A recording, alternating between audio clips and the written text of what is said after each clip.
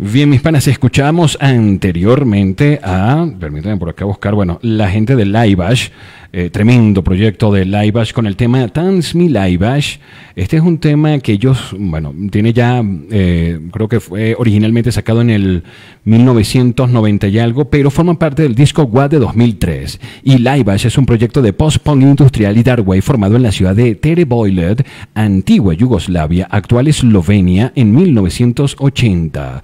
Sus primeras grabaciones fueron editadas por modestos sellos centroeuropeos. Tras una destacada gira por Europa Oriental titulada como Invasión de OTAN Tour 1985, fueron captados por Mute Records y en 2003 publicaron el álbum What We Are Time, inspirados por la grave situación internacional. El primer sencillo que se desprendió de este álbum, Tans Mi Laibash, habla de las relaciones entre Estados Unidos y Alemania. Los integrantes de la banda comentan lo siguiente, cito, ya que Estados Unidos enseñó a Alemania a recuperarse económicamente de forma milagrosa tras la Segunda Guerra Mundial, Alemania ahora prestará su actitud bélica a Estados Unidos y si es así, dijeron, estaremos bailando durante mucho más tiempo. Tremendo proyecto de mm, dentro del formato electro IBM industrial. Mis panas, vamos a pasar de inmediato a nuestro segmento de Rock Interview. Hoy con dos tremendos invitados, parte del line-up de esta icónica y tremenda banda de punk rock de Quito, Ecuador, Harry, los Enderpunks. Antes de darle la bienvenida a mis panas, mm, también quiero enviarle un extensivo saludo con mucho aprecio para el pana Fabián Andrade en España. Fabián es productor del tremendo proyecto de difusión de la escena internacional Rock Adictos.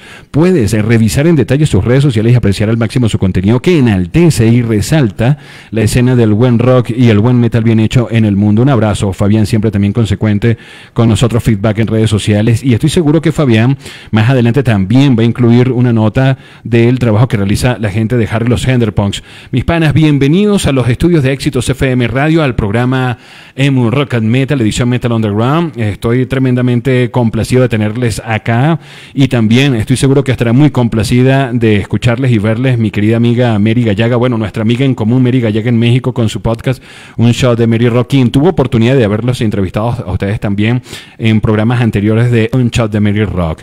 Mis panas, bienvenidos.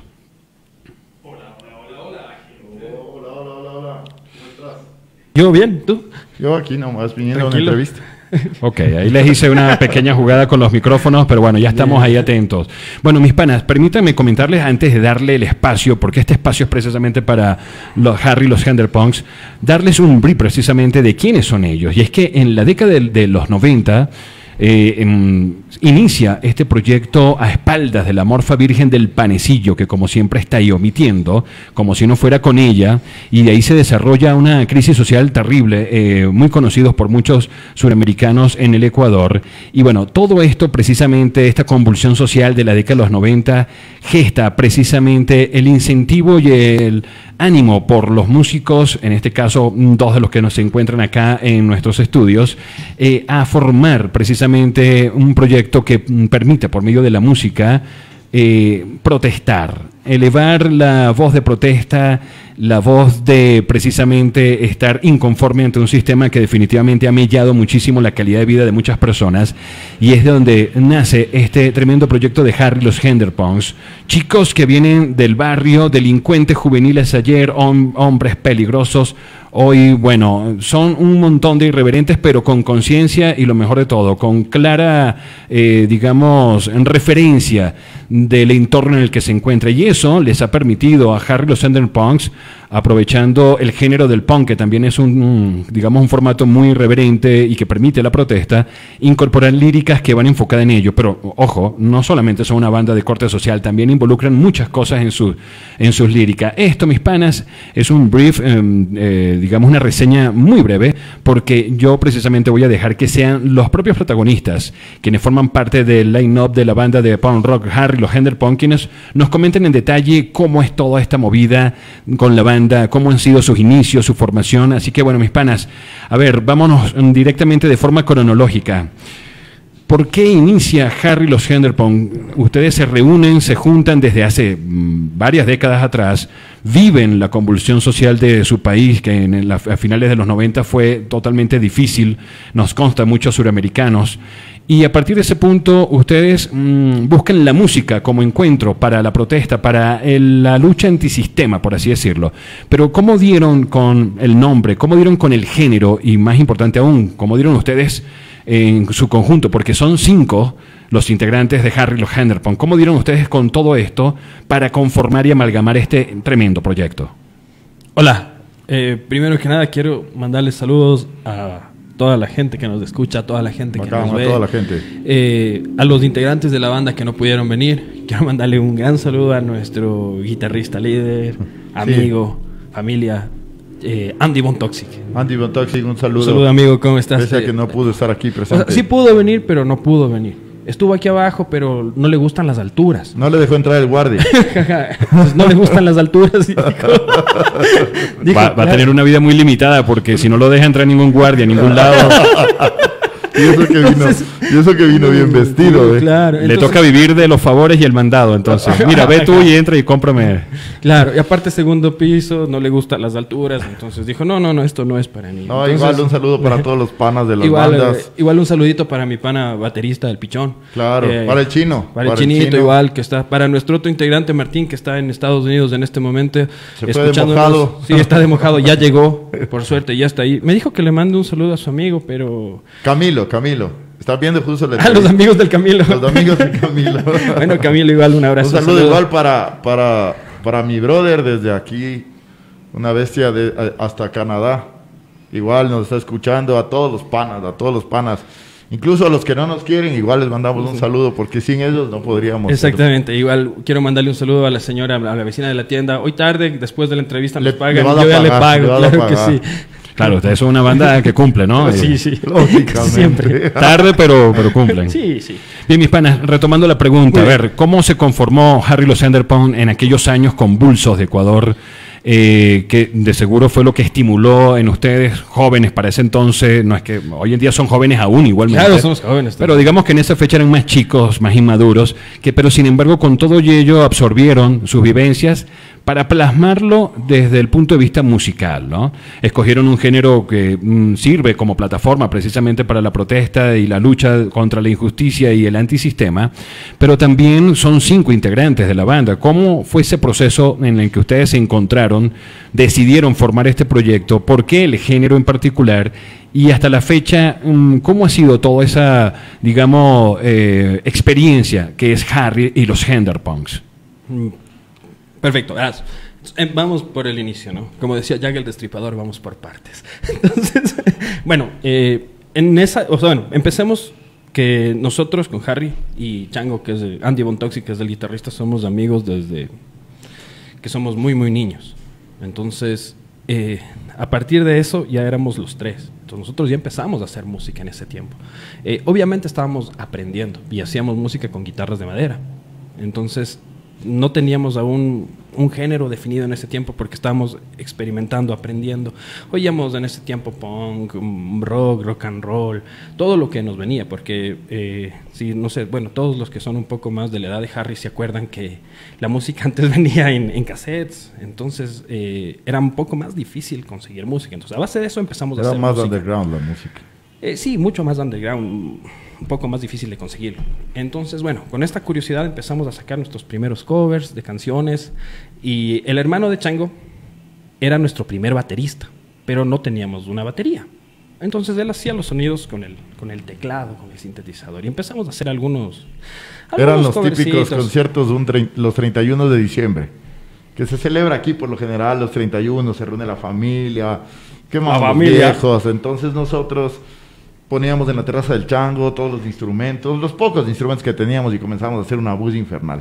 Entonces la gente pasaba, nos veía y decía, o sea, estos desadaptados y ahora ya consiguieron instrumentos y ahora están haciendo bulla.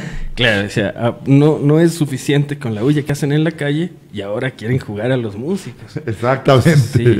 Eh, y así empezó esta idea de Harry los Henderpons, ¿ya? Eh, bueno, luego de esto nos pusimos un poco más serio ya cuando teníamos tal vez 14 años, porque ahí eh, Chango ya tuvo su primera guitarra eléctrica. Entonces, él ya tenía guitarra eléctrica y yo ya tenía un bajo eléctrico. Exactamente. Y claro, la, misma historia de siempre y lo que nos persigue. Bueno, yo seguía teniendo los mismos problemas mentales. Sí, luego... ahí estaba aprendiendo a hablar. que él aprendió a hablar recién a los 14 años. Exactamente. Entonces, eh, una vez que aprendió a hablar, le dijimos, ahora hace falta alguien que cante. Entonces Harry empezó a, a vociferar, como usualmente. Si quieren verlo vociferar, tienen que ir a vernos en vivo, ¿no? Porque esa es la, locura, lo divertido. Entonces, continuemos. Lógicamente, igual, cuando, te cuando nos ves en vivo es otra locura. O sea, creo que tú ya tuviste la oportunidad de vernos en vivo hace dos semanas que nos presentamos, entonces... Igual, un abrazo a toda la gente que fue, toda la gente que nos escribió a Instagram. Yo les dije que les iba a contestar uno por uno, pero la verdad no he podido contestar tantos mensajes. Gracias a todos. Gracias a la gente, igual que fue a Machachi la anterior semana. Oh, terrible. Estuvo igual, una locura. Creo que poco a poco está está saliendo un poco más de esto. Como tú dices, León, la verdad no nos encasillamos en el género punk. Tenemos varios géneros, como te había comentado, tocamos muchas cosas, tenemos crítica social, tenemos vivencias propias, vivencias extremadamente locas, entonces... Claro, o sea, yo, yo quisiera decir que, por ejemplo, nosotros somos punks que hacen música, porque yo creo que, o sea, nosotros vivimos punk, crecimos punk, Claro, tenemos influencias punk, pero creo que no tocamos punk en sí, porque no nos vamos a cerrar a tocar algo. Nosotros lo que queremos hacer es música, porque la música está para unirnos, no para separarnos. No, no, no, hay tantas fronteras, tantas etiquetas ya en el mundo para que tú digas, ah, esto es rock, esto es hardcore, esto. No, nosotros hacemos música y se acabó. Nos divertimos en el escenario, indudablemente nos divertimos y hacemos que nuestro público, a la vez que nos escuche, por lo menos tú tengas un poco de, un recuerdo, que digas, no, eso, me pasaba a los 14 años con mis amigos, o eso vivía a los 18 con mi enamorada. Entonces tal vez igual, que problemas de amor, problemas de, de, violencia, muchas cosas, y las que en, en, tu vida cotidiana te suceden. No, no me invento algo, no te digo que la luna te la voy a bajar mañana y que todo será hermoso en la vida, no, o sea, en realidad te canto lo que a mí me pasa el día tras día. Todo lo social, todo lo del todo lo del putas, todo lo que pasamos, todo lo que bebemos, todo lo que no bebemos, cuando nos reunimos para reír, cuando nos reunimos para componer, todo está, está plasmado ahí. Exacto. Entonces, bueno, continuando con la historia, eh, empezamos a hacer algo ya de música en esta década. Ya se había terminado ya los 90, empezó el 2000. El, el quiebre de esto fue eh, lo que los bancos quebraron, toda la, convulsión social y llegó nuestra primera hora, nuestra primera ola punk. Entonces, claro, nosotros también queríamos eh, alzar nuestra voz, queríamos decir que no estamos conformes, que no nos gusta lo que está pasando y empezamos a hacer, empezamos a hacer música en esa época. Eh, y siempre hicimos música sin nombre, creo, hicimos música por hacer música. Entonces, claro, tuvimos igual algunos shows en esa época, algunos conciertos y la banda se acabó porque nunca tuvimos baterista en realidad. siempre, siempre, siempre nos, colaboraba algún amigo. Eh, y claro, ahí lo conocimos a Paulo, en esa época, que, es el, que fue el, baterista de, Harry los Henderpunks con el que grabamos nuestro, nuestro, primer, demo, nuestro primer demo que se llama Dos del Barrio, vayan a escucharlo, está en todas las plataformas digitales. Eh, con él grabamos, pero hace ¿Cuánto tiempo es? Hace tres años, no, dos años, dos, dos años. dos años tal vez que nos... O sea, ya vamos conformando la banda, vamos al cuarto año ya. Magnífico, chicos. Ahora, fíjense que ustedes han pasado por un montón de procesos que los ha llevado a, a través de la música, generar, comunicar mensajes, ¿no? Y como bien lo decía José, mensajes desde todo punto de lo que es el día a día de la gente, ¿no? El de a pie situaciones sentimentales, situaciones eh, cotidianas a nivel social, eh, la situación propia de nuestras vidas, ¿no? Ahora, desde ese punto de vista, chicos, han pasado mucho, digamos, casi 30 años, ¿no? En el que ustedes han estado de manera activa en la escena del rock y del metal ecuatoriano. Aparte de haber estado involucrado de forma empírica en la música y haber, mm, digamos, buscado amalgamar su proyecto y como bien lo planteas tú, no encasillarlo, sino buscar matices de otros géneros y otros formatos que permitan mantener vigente incluso la arquitectura sonora propia de la banda. Desde ese punto de vista, ¿cómo es también, me encantaría saber, la evaluación que ustedes le dan, la radiografía que ustedes le dan a la escena ecuatoriana en estos últimos 25 años, por así decirlo? ¿Cómo han visto ustedes la escena ecuatoriana? ¿Ha crecido? ¿Ha evolucionado? Eh, digamos, ¿ha llegado a un techo? ¿Queda todavía mucha más tela que cortar? Eh, me encantaría mucho saber su apreciación, tomando en cuenta el factor de que ustedes están curtidos a lo largo del tiempo en, esta movida.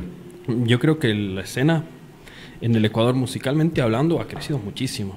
Indudablemente. Eh, sí, porque yo me acuerdo que hace muchos años había pocas bandas que sonaban mm, mal pero hacían algo, había bandas. Lógicamente. Sí, con el tiempo, claro, todos empezamos sonando mal, ¿no? No hay banda que empiece sonando wow. Excelentemente. Exacto. Entonces sí, eh, yo creo que a lo largo de este tiempo, eh, las bandas antiguas, algunas han perdurado, han salido muchas bandas. Todavía yo creo que no llega a un techo porque todavía no tenemos, eh, no sé, los medios de difusión. Eh, no tenemos un lugar para hacer conciertos, por ejemplo. Todo se hace de forma particular. No hay una empresa, no hay un, no hay un Estado. Bueno, que poco sirve igual un Estado, pero no tenemos un lugar que tú puedas ir, presentar tu proyecto y hacer una gran tocada y darte a conocer. Todo claro, todo, ha sido, todo ha sido muy, digamos... Under. Exacto, muy under. Eh, y ha sido un trabajo que dentro de, aun cuando hay una comunidad amplia de la escena, ha sido de forma muy individual cada banda viendo cómo se mueve para, para salir al paso, ¿no? Claro. Porque imagínate, antes... Mucha autogestión, mucha autogestión se ha realizado en, muchos tiempos. Pero volviendo a lo que preguntaste, o sea, yo la verdad creo que hay demasiado potencial, demasiado potencial. Hay bandas que no, que no son escuchadas, hay, hay pelados que, o sea, increíblemente tocan. Y yo les he escuchado, sino que siempre viven en ese anonimato. ¿Por qué? Porque tal vez su voz no, no llega a más oídos. ¿Y por qué nos llega más oídos? Tal vez porque estas mismas personas que se encargan de ya organizar sus conciertos durante muchos años no permiten que entren más, que entren más grupos, más jóvenes y todo. O sea, por eso nosotros en nuestra banda, un caso, un, caso y un ejemplo, nosotros tenemos el, saxofonista 40 y el, y el Martín tiene como 21 años. O sea, no nos importa el, el, que tú tengas 21 años y si sabes tocar, tienes las ganas, tienes las energías, ven. No nos cerramos al espacio de decir nosotros tocamos y ya no queremos. No, no. Entra, ¿sabes tocar algo? ¿Sabes hacer algo? Ven. Hablando de saber tocar, estamos nosotros buscando tecladistas. Si es que alguien nos está escuchando y toque el teclado, que por favor se comunique con nosotros. Alguien que los esté escuchando y que se atreva a formar parte del line-up de. Sí, porque es una cuestión de que hay que pensarlo, hay que reflexionar mucho a lo que se viene a futuro, ¿no? sí, lo que pasa es que nuestro antiguo tecladista, eh, la mamá ya no le da permiso. Ok. Sí, la mami, ya no la mami y el papi ya no le dejan jugar con nosotros. Ya no, ya, le prohibieron jugar, sobre todo el papi ya le dijo que no puede jugar con nosotros. Mamá igual le dijo ya. Que somos una banda de desadaptados. Y sí, que no, no, no. les dijo, búscate otros amigos. Aquí más bien creo que el currículo es al revés, ¿no? Con antecedentes penales, varias entradas en distintos centros de, rehabilitación. Exactamente. Todo lo contrario a lo que pediría una empresa normal es lo que ustedes requieren para, Exactamente. para formar parte de la INOP. Si no tiene el, el certificado o el sello que diga del San Lázaro, no puede entrar, la verdad. Si no conoció el CDP tampoco. si no conoció el CDP, eso. Mis panas, ustedes ya han sacado varias producciones, eh, tienen incluso eh, material alojado en plataformas digitales, ¿correcto? Y, en las distintas plataformas donde se promociona ahora la música. Desde ese punto de vista, en el marco de lo que ha sido las varias producciones, variopintas producciones que nos ha aportado Harry Los Enderpons, eh, ¿consideran ustedes que desde el punto de vista de estudio, de grabaciones, eh, es factible para las bandas porque fíjate que tocabas algo interesante, un punto interesante de que hay talento, y potencial, eh, pero quizás ese potencial a veces se puede diluir en la falta de opciones y alternativas de cómo materializar el trabajo y el talento plasmado en la música. Por ejemplo, ¿cómo ha sido, por ejemplo, el andar de ustedes a nivel de preparación, de grabación de sus producciones? Para, por supuesto, eh, estamos claros en que el, formato de ustedes en vivo, la puesta en escena de ustedes es tremendamente brutal y excepcional. nada, nada que envidiarle a propuestas americanas o europeas. Definitivamente la gente siempre se va a llevar un buen sabor de lo que es el trabajo de Harry en vivo. Pero a nivel de producción, ¿Cómo han hecho ustedes para autogestionar sus producciones y si ustedes están conformes con la calidad en función del espacio donde hayan tenido que realizarlo o, lo han hecho ustedes también de forma autogestionada? Bueno, verás, eh, lo primero que grabamos, este demo 2 y el barrio, es un demo grabado en vivo que nos lo apoyó un gran amigo que se llama Rajiv. Si está por ahí Rajiv, todavía te lo agradeceremos. Nunca podremos pagarte eso. Eh, Nunca te lo vamos a pagar. No te Cierto, Rajiv, todavía te debemos de eso, pero... no, un abrazo, Rajiv. Y bacán. La cosa es que, eh, por ejemplo, esto que grabamos, lo grabamos en vivo igual, ¿no? Tocando puertas, diciendo quién nos puede ayudar, quién nos puede ayudar, porque grabar es caro. Y la verdad, en este, en este momento no nos da el presupuesto para grabar algo, algo de verdad, algo bueno, algo con buen sonido. Porque claro, hemos vagado por estudios, pero claro, los precios superan los mil dólares por una canción y para nosotros es mucho dinero. Entonces, claro, eh, tenemos por ahí otra grabación que la van a escuchar hoy, nuestro tema Máquinas del Terror, que igual no, no, no es Máquinas del Terror, es Mi Puta Locura. Mi Puta Locura. Mi Puta Locura. Grabada en, en Grabada, está grabada en otro lado, en, en, en Autoregues, en Rec. Bueno, Pluteras Rex, Pluteras Rex. En Pluteras hicimos Máquinas del Terror. Y ah. la, la, siguiente hicimos, bueno, donde, donde Carlos Arauz hicimos, ¿no es cierto? Ah, donde el Carlos Arauz. Igual fue una grabación gratuita. Salió un anuncio en internet donde decía, se necesita banda para, para grabar. Fuimos, grabamos, nos grabamos. Ajá, muy igual, bacana la experiencia esa. con el Carlos Arauz, una bestia. Eh, su estudio de grabación queda eh, por el sector de la América. Okay. Eh, sí, grabamos hace unos tres, no, unos cuatro meses grabamos. Indudablemente, como decías tú, o sea, en este punto, en este punto de, todo músico, yo creo que el 90% está sumergido en redes sociales. Y te puedes, y te debes, o sea, tienes que moverte en redes sociales. Si no, no puedes salir. A menos que te consideres demasiado under, lo cual es casi imposible en esta época.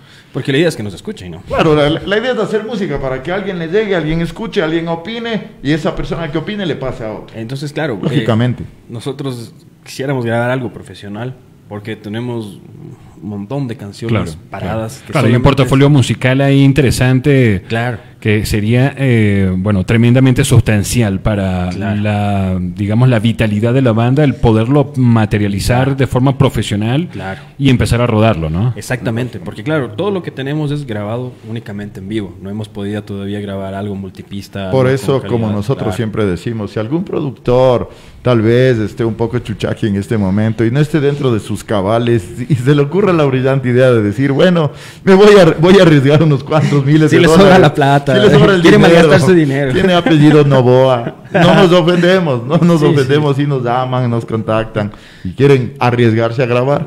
A grabar. Ahí, eh, dentro de, digamos, esa forma paradójica de decirlo, como debe ser, porque el humor definitivamente es eh, una herramienta que nos ha permitido como especie humana superar las adversidades. ¿no? Lamentablemente el humor se está perdiendo y se está limitando en base a una cierta sensibilidad social. Eh, y por ello me encanta mucho de que ustedes incluso utilizan el humor para sus propias tragedias, como debe ser. Sí, si no nos reímos nosotros de nosotros. Claro, estamos mal, estamos mal. Pero dentro de todo eso, yo le saco, digamos, con pinza la, el mensaje que quieres transmitir. Y ahí iría mi pregunta eh, a los chicos. ¿Han conseguido ustedes respaldo o han visto ustedes mm, si la empresa privada, no hablemos del Estado, olvidemos el Estado, pero en el caso de la empresa privada, ¿hay, hay digamos, una maquinaria eh, privada en el Ecuador que esté trabajando en función de precisamente incentivar la escena desde varios puntos estratégicos, bien sea un concierto, bueno, ya me dijiste que es difícil conseguir espacios idóneos para presentarse. Ahora, a nivel de, por ejemplo, grabaciones, o simplemente la empresa privada está divorciada y separada de lo que es la escena. ¿Sí? El, problema, indudablemente, yo creo y siempre voy a creer que radica en que la persona que quiere apostar por algo, es, en el Ecuador es bastante difícil apostar por algo si ese algo no es algo comercial, netamente comercial, y algo que escuche el 70%. Es muy duro entrar al mercado punk, sobre todo rock, punk. Ah, en los espacios de rock, sí, indudablemente, sí hay bastante, bastante apoyo. Es más reducido en, el espacio, en el tema punk rock. Claro, es que yo creo que, por ejemplo, aquí Y música nacional le llaman únicamente a la tecnocumbia, al, viejo bolero, al pasillo, son lindas cosas. ¿no? Claro, forma parte del acervo cultural musical del Ecuador. Pero también está la música ecuatoriana que hacemos nosotros. Claro, y eso incluye precisamente ese talento. Exactamente. Eh, que, eso, que es bastante, digamos, eh, hay, hay mucho pues talento. Por eso, claro, empecé diciendo que hacemos música, ¿no? Para que no nos sigan dividiendo por género. Claro, exactamente. Entonces, claro, la mayor parte de, apoyo se va por allá, porque si tú ves eh, un, no sé, un, fiestas de Guayaquil, entonces tú ves solamente bandas más tropicales, más de ese, más de ese, más de ese tipo. No ves a las bandas de rock and roll, las bandas de rock. Sí se da, se da. Se da, pero, si tú comparas, si tú comparas una gran tarima como les ponen a ellos. Son espacios pequeños. Hay el Quito, el Quito Fest aquí. Claro. el Quito Fest se mueve pero te digo, igual, o sea, siempre está mermado a la apuesta de una banda tal vez nueva, o una banda que diga, ¿sabes qué? O sea, me arriesgo. O sea, yo creo que tendría que haber, o sea, opinaría que yo tal vez estando dentro de la organización, haría un cambio como radical, como que este año entran 10 bandas, pero de las 10 bandas, 4 bandas son sorteadas. Son de este género, de este género y de este género. Sin amarres sin alguien que te diga, por favor, o sea, nada, o sea, al azar. Claro, y debería, debería Eso tendría, yo creo que tendría que funcionar siempre. Claro. Porque si nosotros hacemos un concierto, créeme, León, nosotros eh, estamos viendo la manera de organizar un concierto, nosotros no buscamos incluir a una banda por afinidad, sino buscamos una banda que en realidad comparta la música, nos siga, nosotros le sigamos, veamos que está en el mismo proceso que nosotros de progresar. Claro. Vamos. Claro, más allá de verlo como una especie de competencia, ¿no? A ver qué banda tiene mejor instrumento, qué banda toca mejor o qué banda... Hay que, hay que superar precisamente esa, eh, digamos, falencia dentro de lo que es la mentalidad y la filosofía de la escena independiente, ¿no? Eh, muy propio de también de que la banda entonces toca en el escenario, se baja, pero no ve a la otra tocar.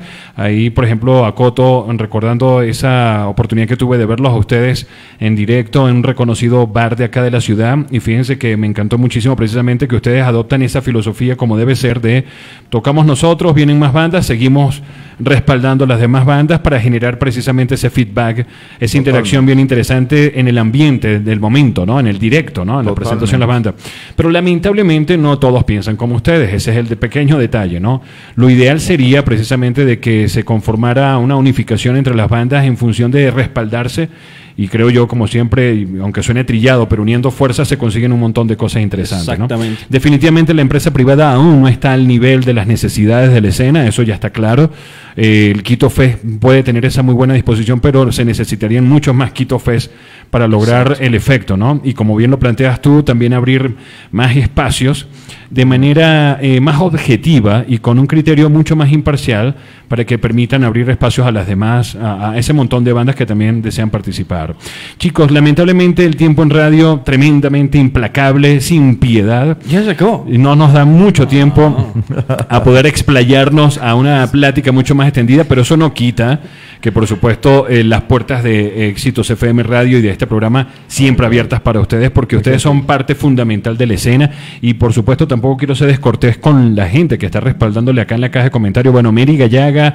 Eh, eh, un saludo para Mary. Está muy pendiente. Javier Irigoyen en Uruguay, muy pendiente también. Julio Luengo de Chile, pendiente también del, de, de, la, del concepto de ustedes y la apreciación oh, de ustedes. Mis panas. Para cerrar, Mi puta locura, su última producción. Coméntanos un brief para irnos directo al tema, un brief de lo que fue este trabajo, la lírica, el concepto sonoro, la arquitectura. ¿Cómo fue el proceso eh, y qué mensaje, y qué significa y qué quiere expresar Mi puta locura? Eh, procesos creativos siempre son conflictivos. Nosotros siempre estamos en conflicto entre nosotros porque viene una letra, todos quieren poner algo, y explotamos. Entonces nuestro proceso creativo es bastante complicado. Otra cosa que quiero decir antes de finalizar, por favor el cheque de hoy a nombre de Andrés Bolaños, ¿sí? Por favor, sí. Chévere. Eso nada más, no te olvides. Creo que se lo merece. Sí, sí. Bueno, aparte de, lo que dices, y, es verdad, verdad, Jason, o sea, nosotros queremos siempre meter algo, pero mi puta locura es una canción que está, si le escuchan detenidamente, se van a transformar siempre. Todo el mundo algún momento en su vida ha deseado coger un carro o una moto y ha querido ir 10 mil por hora en la ciudad y pasar y atravesar todas las ciudades del norte hasta el sur, yendo a 10 mil, que todo, que todo, todo te importe nada, tener una cerveza en la mano, tener, eh, tener muchas ganas de escapar de la, de, la ciudad, del espanto, como le decimos nosotros, y qué mejor con una chica. Bueno, si esta chica es pagada o no es pagada, ahí ya... Sí, es que esto depende del dinero. eso, ya, depende de, la cuestión monetaria. Todo, todo, lo que manejamos es solamente imaginación. ¿Ya? Lógico. Sí, sí, sí. Si, si manejan, no beban. Y si beban, no manejen. Acuérdense de eso. No, no, sí, eso sí. o sea, todo, son historias. todo se basa a un, a un, recuerdo, porque puedes estar simplemente en tu oficina escuchando la canción y te puedes imaginar que estás manejando en la ciudad y vas a 10 mil por hora. No es necesariamente que cojas tu auto y pases bueno, si quieres. O sea, sí, pero igual el mensaje, va, el mensaje va igual para Andrés Bolaños. Por favor, Andrés. Definitivamente es una canción que entonces va a generar empatía con quien la escuche. Sí, sí, sí. Porque va ajustada precisamente a esas vivencias y a cómo lo puede interpretar uno, ¿no? Mis panas, micrófonos para que se despidan de la audiencia de Emo Rock and Metal que estuvieron presentes para eh, conocerles, para escucharles. Eh, palabras finales para ese público, chicos. Bueno, ante todo, muchas gracias León, como siempre, desde el primer día que nos apoyaste y nos conocemos, te has portado una bestia, Emu Rock, el programa, o sea, del putas, o sea, yo sigo hace rato este programa y es una bestia. Tienes muchas cosas que hablar y muchas cosas interesantes que uno sigue aprendiendo. Indudablemente un saludo. Para Éxitos de FM igual, un gran abrazo, muchas gracias por habernos invitado. Yo sé que tomaron ese esa, esa cosa arriesgada de hacerlo, pero bueno, aquí estamos. Un saludo a todos los panas que nos están viendo, que nos están escuchando a través de Éxitos de FM. Un saludo para, como les había dicho, Chile, Argentina, Uruguay, España. A, a, a Pablo allá en España, que próximamente tendremos una entrevista, igual un fuerte abrazo. Y esperemos, esperemos que nos vuelvan a invitar a seguir conversando un poco y, tratar de, discernir muchos temas que quedan en el aire. ¿eh? De, cualquier cosa podemos hablar. Magnífico, chicos. Bien, mis panas, teníamos acá en los estudios eh, de Éxitos FM Radio, aparte del line-up de la tremenda banda de punk rock y otros géneros, como lo es Harry, los Punks, una banda radicada en Quito, Ecuador, ya con vasta experiencia en la escena y, por supuesto, con una motivación enfocada en proyectarse a futuro y seguir ofreciendo esa buena música que bien saben hacer los chicos de Harry, los Punk. Por lo pronto, mis panas, voy a dejarlos con su corte promocional titulado Mi puta locura y por supuesto antes de soltar el tema invitarles a revisar en detalle, a checar de inmediato las redes sociales y plataformas digitales de esta tremenda banda de Quito, Ecuador, Harry, los Punks y aprecien al máximo todo su portafolio musical. Por lo pronto, los dejamos con el tema titulado Mi puta locura acá en nuestro segmento de Rock Interview de esta la edición número 10 de Emo Rock and Metal, edición Metal Underground, transmitiendo en señal digital desde Quito, Ecuador y para todo el mundo a través de www.exitosfm radio.com. La ciudad del espanto.